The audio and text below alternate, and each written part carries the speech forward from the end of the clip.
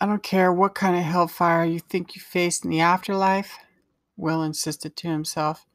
All you ever will know is now, and sometime after you were born, before you die.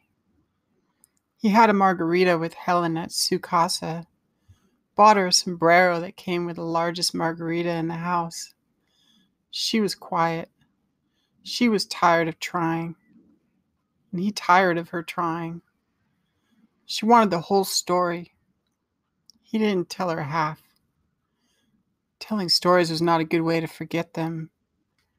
He wanted to remember or preserve the memories in the written word, which he did.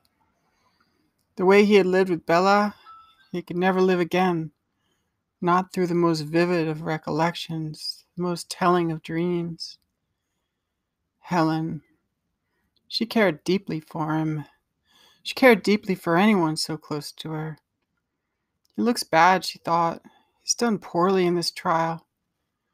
She believed every word he spoke to her, every detail he described. His honesty was evident.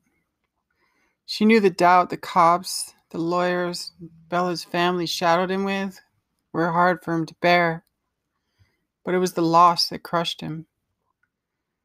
He was only in his twenties, only so grounded. Youth can be a wonderful time, full of energy, but that adrenaline that's your best friend is your worst enemy. Old folks have fixed their principles to ground themselves in the wax that is the world, molding and melting, while youth remains immersed in struggle against society, against passion, against better judgment. Will, she efforted, you realize what has happened? Well, it's not your fault. When you say that, it resonates me, but the guilt returns. I cannot help myself, he replied. I'm caught. I do not twist nor turn to escape the hell I've created for myself. I'm the everyman today and maybe tomorrow, damn. To top it off, I was born too late. The normal American says, What happened? You say, What is past? Closer to the French. You know how I say it? In a tongue that reeks of Latin. What has transpired?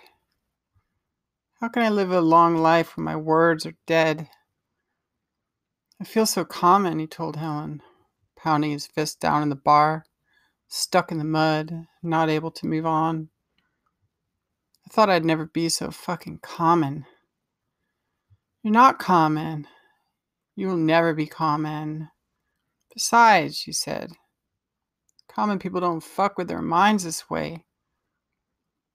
Okay, so I'm not common. Where does that leave me? Simply fucked up.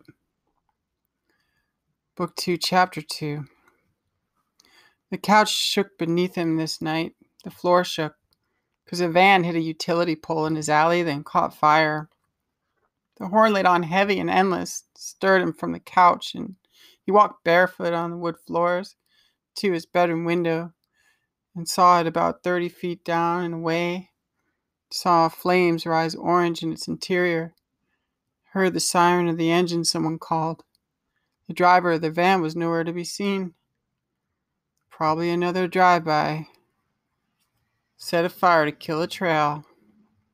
He heard it in the distance and watched the fire truck pull up, lights rotating, and saw the Union men take an axe to the windshield.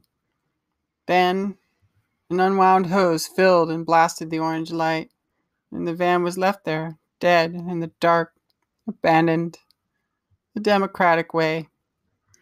The orange ocean of light of the city consumed the incendiary van in sky burn. Black smoke rose and dissipated.